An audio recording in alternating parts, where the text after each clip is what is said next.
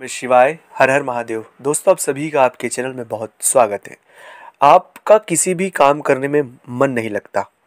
आपको ऐसा लगता है कि हमारी बुद्धि किसी ने बाँध दी है। अर्थात, किसी भी काम को करने में न मन लगता है, दिमाग काम नहीं करता है, न कुछ आइडिया आते हैं, न कुछ हम अच्छा कर पाते, बहुत ऊब से गए हैं। हमें ऐसा लगता है कि हम इस काम से परेशान हो रहे हैं। मन स्थिर नहीं है। चित स्थिर नहीं है और बार बार बार बार हमें नुकसान हो रहा है बार बार हम परेशान हो रहे हैं और बार बार हमें ऐसा लग रहा है किसी ने हमारी बुद्धि बाँध दी है, किसी ने हमारे हमारे साथ कुछ कर दिया है। ऐसे सिचुएशन से अगर आपके जीवन में, आप वर्तमान में गुजर रहे हैं, देखिए इसके प्रतिशत होते हैं। कुछ दस प्रतिशत पे होगा, कोई बीस पे होगा, कोई पचास पे होगा, किसी को हंड्रेड परसेंट ऐसा लग रहा होगा। पर कुछ प्रतिशत तो हम इस पूरी परेशानी से हैं। गुजरता ही है, कोई ना कोई व्यक्ति गुजरता है। ऐसी सिचुएशन अगर आपको लगती है तो ये जो मैं बातें आज आपके साथ साझा कर रहा हूँ, ये आपका जीवन बदल सकता है और इस परेशानी, आपको लाइफ टाइम तक कभी भी ये परेशानी नहीं होगी। अगर मैं ये बातें आपके साथ जो साझा कर रहा हूँ, इन्हें समझ लीजिएगा।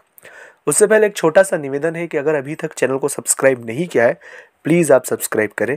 कमेंट्स में भोलेनाथ का नाम लिखें और वीडियो पूरा देखने के बाद अगर अच्छा लगे, तभी से लाइक करें। जो भी जैसा भी लगे, आप कमेंट्स में अपनी राय खुलकर लिख सकते हैं। दूसरी बात है, आप चाहते हैं अपनी कुंडली का विश्लेषण हमसे करवाना या अपनी ज्योतिष संबंधित कुछ सलाह चाहते हैं, जो प्रश्न आपके मन में है तो स्क्रीन पर हमारे नंबर चल रहे हैं। आप व्हाट्सएप पर अपॉइंटमेंट लेकर हमसे बात कर सकते हैं। उसका फ़ीस शुल्क लागू है दोस्तों।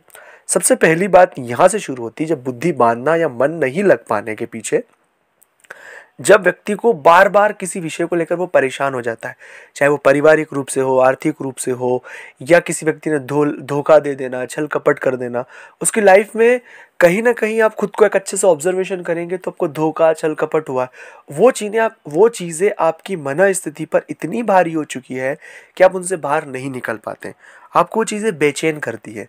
इसलिए उन चीज़ों का ठीकरा आप अपने मस्तिष्क पर, अपने मन पर न पड़ने दें। क्योंकि वो आपके काम, व्यापार, रोज़गार, नौकरी, जो भी है, सब में डिस्टर्बेंस क्रिएट करेगा। और ये एक बहुत बड़ी यात्रा है। ऐसा नहीं कि ये चार महीने में रिएक्ट करेगा या दो महीने में। आपको ये कई दिनों तक रिएक्ट करेगा। आप उस परेशानी के साथ हमेशा सोचते रहेंगे।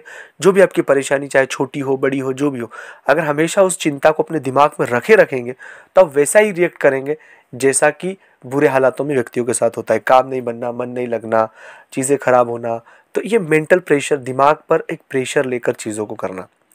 तो प्लीज़ मेरा निवेदन है कि ऐसा ना करें। थोड़ा सा बाहर निकले। जो भी चीज़ें हैं, जो भी चीज़ें आपके पास्ट में हुई या जो भी चीज़ें लाइफ में हो रही है, वो पार्ट ऑफ़ लाइफ समझे और धीरे धीरे धीरे गुरु मंत्र का जाप करके आगे बढ़े।